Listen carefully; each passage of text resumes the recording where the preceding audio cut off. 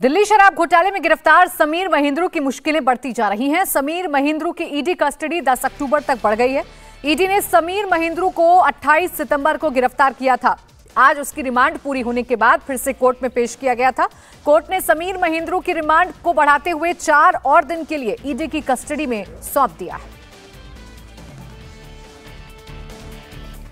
India TV हर वक्त, हर जगह। Download करने के लिए सर्च करें India TV news Google Play Store या एप स्टोर पर।